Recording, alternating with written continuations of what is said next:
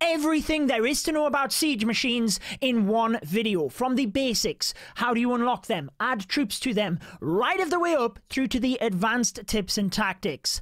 Let's get into it.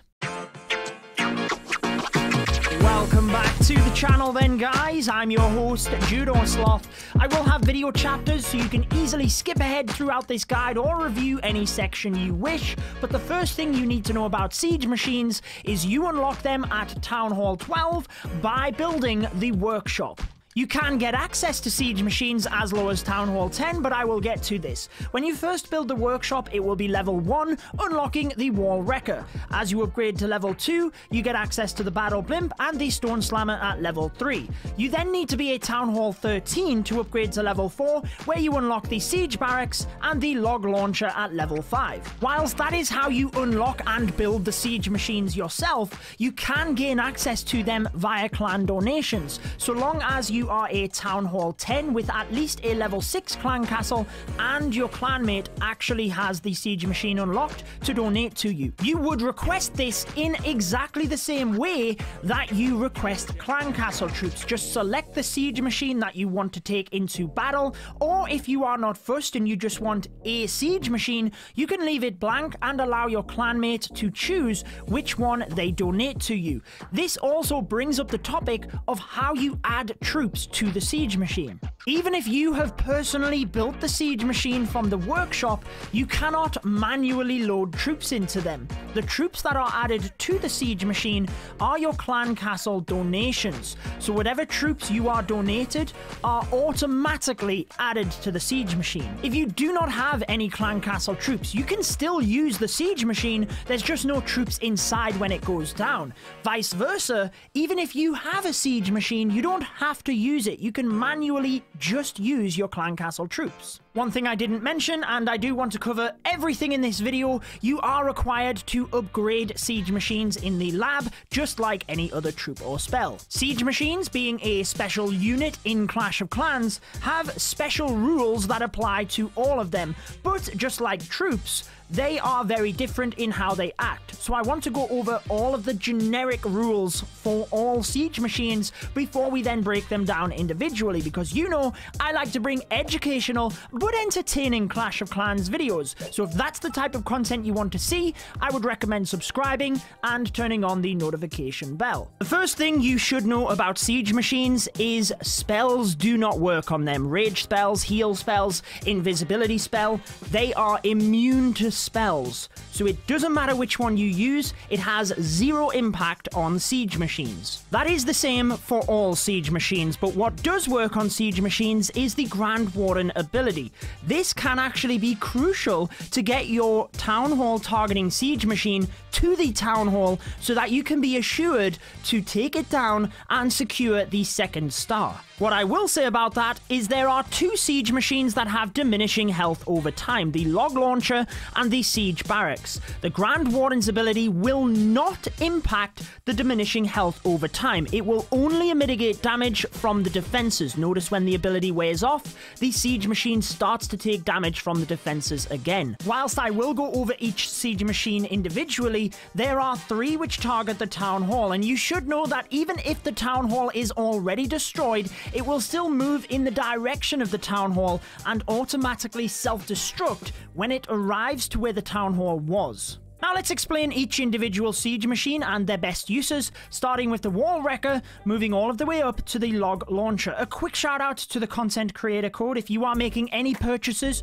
you can support your favorite creator by entering their code in your settings before purchasing. My code is Judo and it is much appreciated, my friends. We get a small kickback and it really helps to support the channel. I personally know how many hours I put into each individual video for you. Another quick tip before we break down each siege machine is to try and take a variety of them into battle. You can no longer take all siege machines with the introduction of the log launcher, but you can take three within your workshop and one within your clan castle. This means that mid-battle, you can switch the siege machine you are about to use, and it could rescue your attack. If your wall breakers fail, you might change to a wall wrecker to rescue the 2-star. The wall wrecker does exactly what it says it wrecks walls. For a max level wall wrecker, it takes 3 shots to take down a max level wall, and it can do splash damage to the building behind the wall. So it can take out defenses or other buildings en route, and just know when it approaches the town hall at Town Hall 12 and 13, it will activate the town hall if it is directly touching the wall it is firing at. Now, this could be helpful, it could be a hindrance, it all depends on your approach to the base, but the wall wrecker directly targets the town hall and busts through walls en route. You can use the wall wrecker to absorb fire from defenses, but if you want it to break through walls, you might use a tank such as an ice golem in front so that it gets further. You might even decide to use a wall breaker on the outside layer so that you know the wall wrecker is going to get into the base.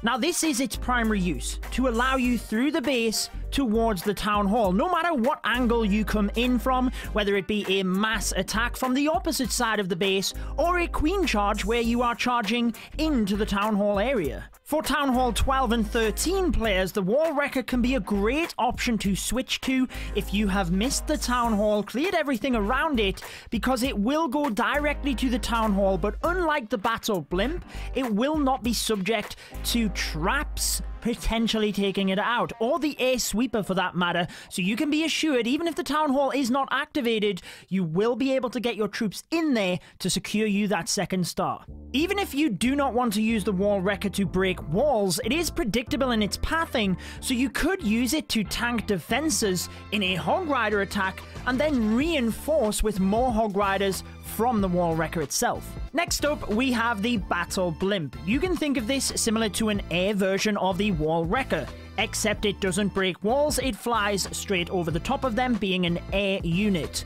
It will be subject to air sweepers though, so you do have to take notice of the pathing it will take towards the town hall, and it has much less hit points than the wall wrecker. It is also a good idea to send in a couple of balloons ahead of the battle blimp. This means that they can test for any potential black bombs that would do major damage and absorb some of the fire from the defenses when you're trying trying to get your battle blimp deep into the base. Probably its most popular use is the Yeti blimp method, sending the battle blimp into an area with Yetis inside.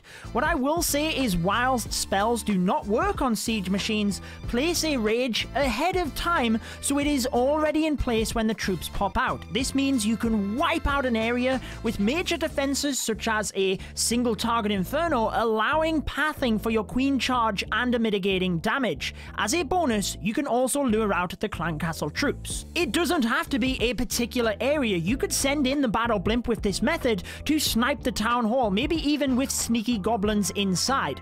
Do take special care though, because you can easily be baited with this method, with Tesla or a tornado trap, meaning that you miss the town hall. Just know you can use a variety of troops inside the battle blimp. I have shown you recently these super wizards with the invisibility spell. Remember the Electron attack, cloning the E-Dragon or the balloons to take out the Queen and an area of the base.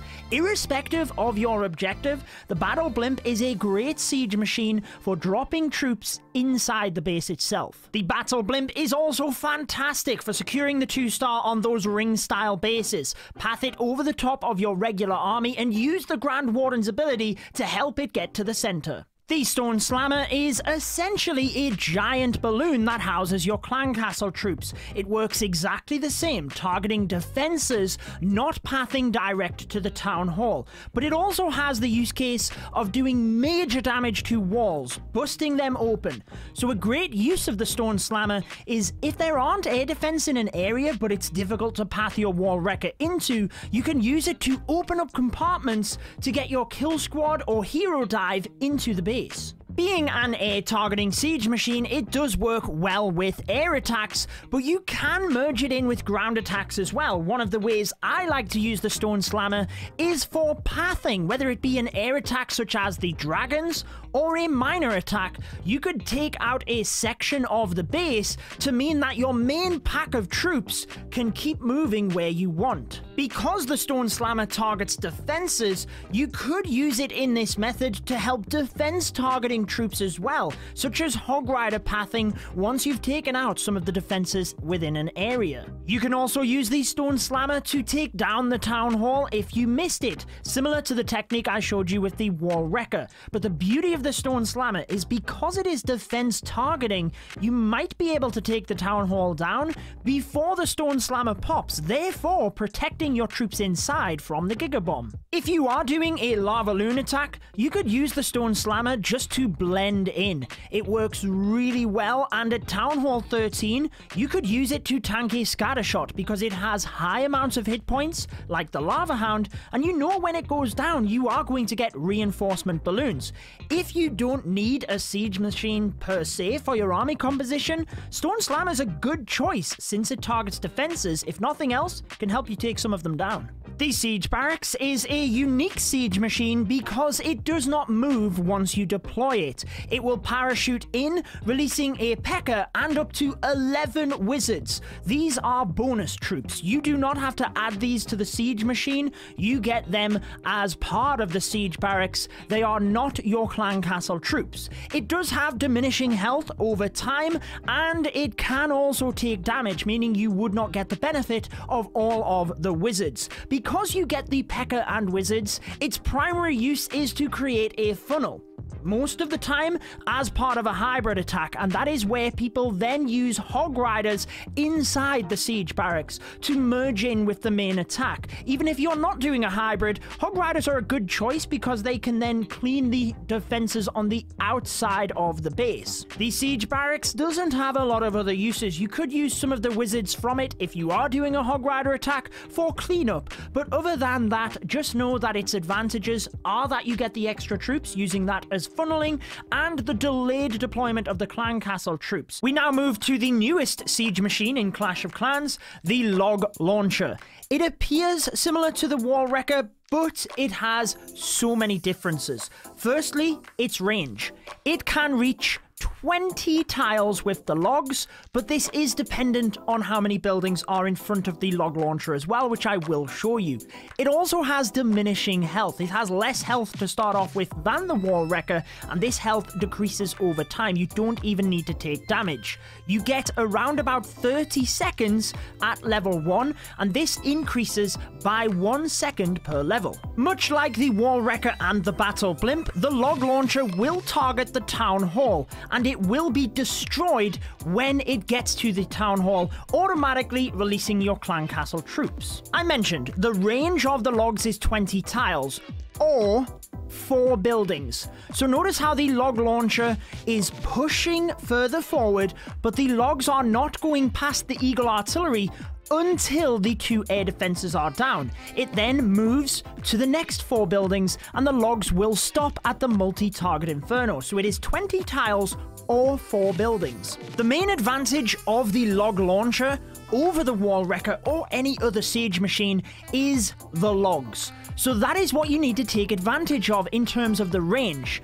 You could push into the base with a wall wrecker, which would provide better tanking for your heroes because the wall wrecker is faster. But notice that the log launcher can actually open up the wall compartments behind the town hall.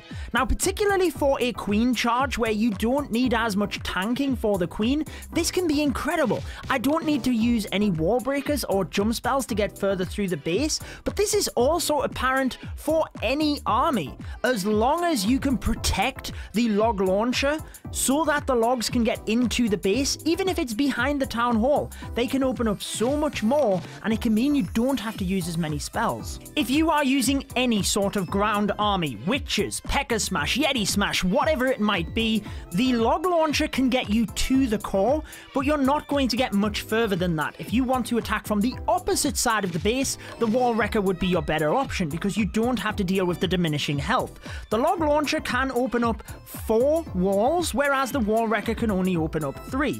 However, the main disadvantage is that you will activate the town hall from a distance. This might actually not be a bad thing if you are using, let's say, hog riders and you need the town hall activated, but for any ground attack, you probably don't want to activate it sooner than you need to. Also, the clan castle troops might not get to the town hall. Sometimes, as a backup plan, you want the wall wrecker to get to the town hall so you know it will go down. Another amazing use of the log launcher is to send it in to the town hall due to the damage of the logs alongside the royal champion. With the logs reaching the town hall from a distance, an earthquake spell, and the royal champion seeking shield, you will be able to push in and take the town hall, although you would have to be careful of Tesla pulling your royal champion and or skeleton traps. But look at the value I was able to achieve with just the logs, one spell, and the royal champion. You could push your king and queen elsewhere with the use of an ice golem and then set up the rest of the attack. If you do want to see my explanation of every single troop in the game, I have it linked right here for you. Very similar format, but we go over every troop. Subscribe button is also there. Thank you guys so much for the support. You take care, enjoy the rest of your day, and I will see you in the next video.